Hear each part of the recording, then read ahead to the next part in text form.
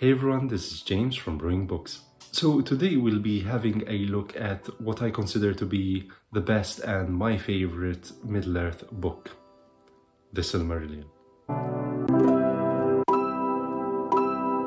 So, The Silmarillion, in Tolkien's own words, is the history of the war of the exiled elves against the enemy, which all takes place in the northwest of the world, Middle-earth. Several tales of victory and tragedy are caught up in it, but it ends with catastrophe and the passing of the ancient world. Hmm, ends with catastrophe. That already sounds tantalizing. So, this publication was released in 1977 and is edited by Christopher Tolkien, in which he gathers several manuscripts in various stages of completion from over a span of 60 years to create this body of work on a gargantuan scale. I do not consider the Silmarillion as being a novel in itself. It is more rather a chronicle with several story strands of different characters and environments that are intertwined together, framed within a broad narrative plot. The language it is written in is archaic, and as a book, it is a cleverly crafted chronicle of epic events that take place over thousands of years. It really is a pity that many of the stories have not been developed to the full, so thank goodness for the children of Hurin, at least. The book deals with the cosmological and the nature of the world, which leads to the political and warfare aspects of elves, men, dwarves, and the forces of evil. Due to its high concept, it makes it just short of becoming a mythology in itself.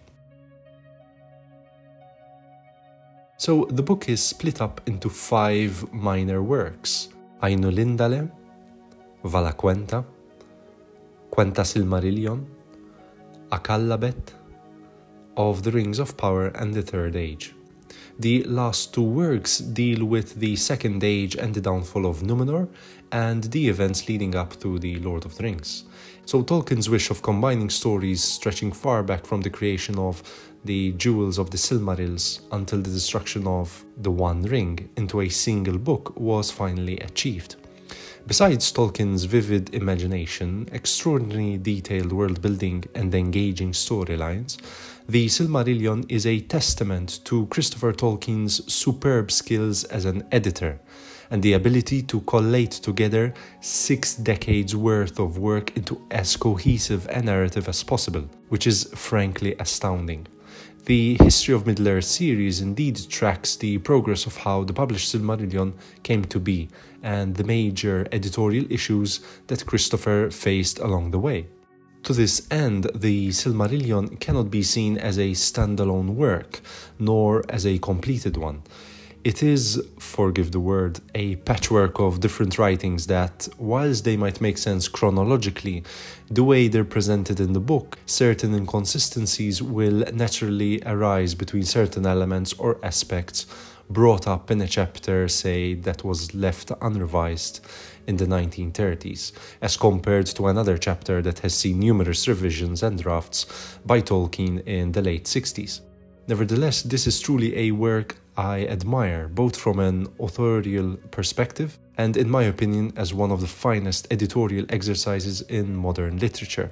Besides the fantastical elements in the stories and the range and breadth of themes, motifs, and thousands of years of history, this book, this 300 page book from cover to cover, also contains genealogical tables, maps, language pronunciation notes, an index of names, and an appendix on Quenya and Sindarin which make this book an almost exhaustive introduction to everything you ever wanted to know, not just about Middle-earth or the world of Arda, but also the more cosmogonical and metaphysical aspects of Tolkien's created mythology.